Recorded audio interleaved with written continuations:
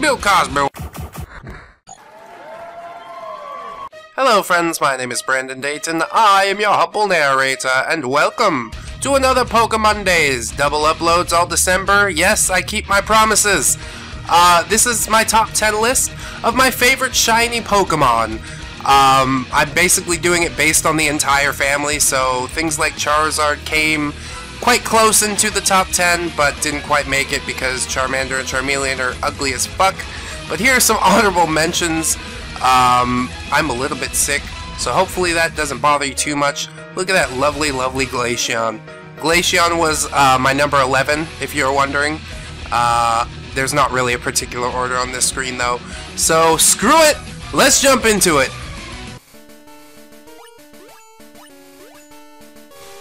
Number 10. My pick for number 10 is Mr. King Louie himself, Snorlax. Yes, he looks so good with his lovely blue coloring. It fits a lot better, I believe. It looks more royal than his uh, original coloring, which is more like a purplish gray kind of thing. He also reminds me of Veruca Salt from Willy Wonka and the Chocolate Factory, and maybe that's what they're referencing, but probably not. it's just something fun I like to think about. So yeah, Snorlax definitely looks awesome with his with his shiny coloring. Definitely worth the extra effort if you were to put it in. Surely one of my top 10 favorite shiny Pokemon. Number 9. Pink and blue are sort of themes for this list, as you might have noticed from the honorable mentions that I had listed. Uh, Sneasel is actually the only pink shiny to make it on this list, Sneasel and Weavile. I really like it because they have like a, a dark, devious nature, just like Crobat, so making it pink uh, conflicts really well. It's kind of silly, admittedly. Um, I've seen Weavile on a couple people's worst shiny Pokemon, but uh, I don't believe that. He still looks awesome even with his pink coloring. You shouldn't underestimate somebody who's that flamboyant. Because they have nothing to hide.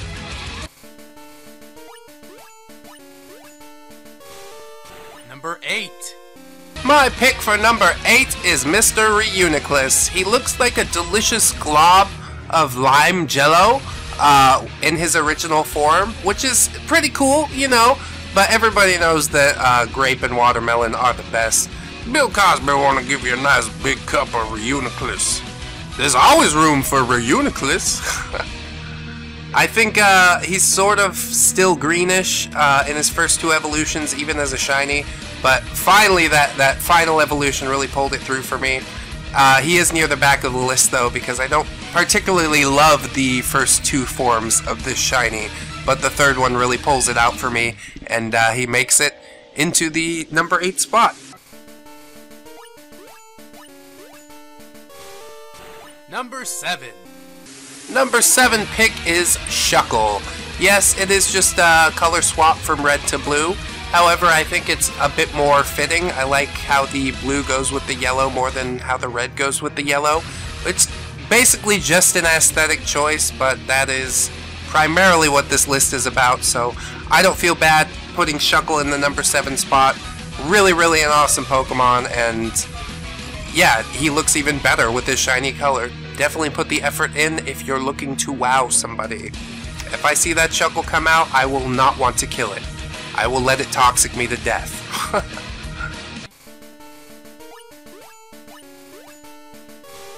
Number 6. The number 6 slot goes to Mr. Braviary. Once again, it is basically just a palette swap between uh, the blue and the red. You can see it on his forehead and in his wings.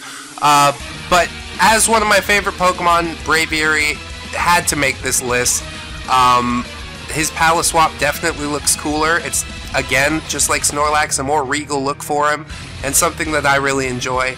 Is there more red or blue in the American flag? I'm not sure. I think there's about an equal amount. Probably more red. But the blue definitely still looks better. So screw it. Awesome Braviary.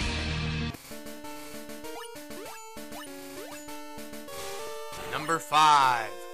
We enter the number 5 slot with an interesting choice. It is basically the opposite of the palette swaps I've been looking at before. Uh, I don't like purple Drapion. It looks like Barney the dinosaur to me, and something that badass, a poison dark type, should definitely have a more threatening color, and red is it. Uh, looks cool, uh, either as a shiny or not, but Drapion definitely takes the cake in his shiny form. Uh, yeah, if you see that thing come out on the battlefield, definitely watch out. The shiny color might alert your opponent to its badassery. I think it's still worth it. Number 4. The number 4 slot goes to Snorunt slash Glalie. Uh, basically, again, it's a palette swap. The blue eyes turn red. I think it's a really cool look. It looks like uh, the Glalie's about to boil over. You know, he's definitely a fierce fighter, so that's a fitting thing. And also the uh, Snorunt definitely looks a bit more frosty uh, in its in its pre-evolution form as a shiny. So definitely an awesome Pokemon. I would suggest trying for the shiny just because of those awesome, awesome red eyes.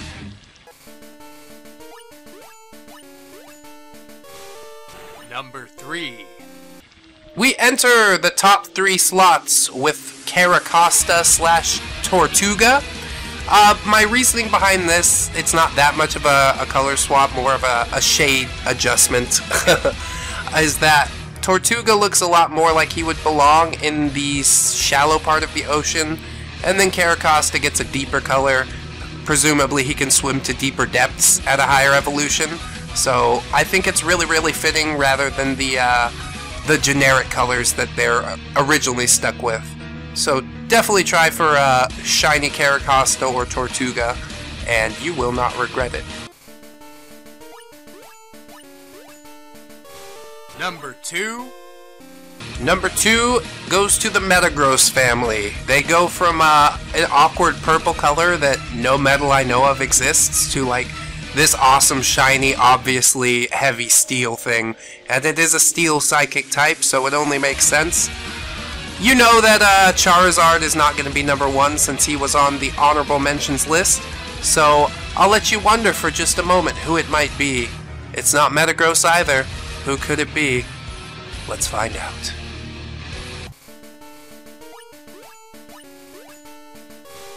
And number 1. The boss himself, number one, Mr. Zangoose. God damn, it's just a red to blue palette swap, but again, I really like that white and blue more than the red and blue. It uh, gives him sort of a, a lightning quick feel where, you know, he feels more furious with the red, but he's a fast Pokemon more than a strong Pokemon, so I think the blue is definitely more fitting for Mr. Zangoose. He's uh, sort of a forgettable Pokemon, however, with with that kind of coloring, it's it's the sort of thing that'll stay in your memory. He is quick, he is speedy, he is deadly, he is Zangoose, my number one pick. So friends, this has been my top 10 favorite shiny Pokemon, presented by Mr. Dayton Does. I do hope you've enjoyed the episode. If you disagree with any of my picks, maybe you wanted to see Charizard and Umbreon in the top 10, tell me who you'd swap them out with and uh, I definitely respond to all comments. If you would like uh, and or subscribe, that would be quite a help as well. Help to get my channel out there. I'm definitely trying to grow, and uh, I thank the community for uh, sticking with me through all these these trials and tribulations and weird stuff that I've been trying to do with the channel. Uh, you've all been really supportive, so thank you. You are my favorite uh, 500 subscribers. I'm sure that number will grow. But uh, for now, dango, guys, take that to the bank. so I've been Brandon Dayton, your humble narrator. I hope you will join us for the next time, friends. Until then, bye bye.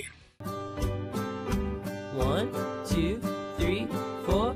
Goodbye, goodbye, see you again. Goodbye, goodbye, see you, my friends.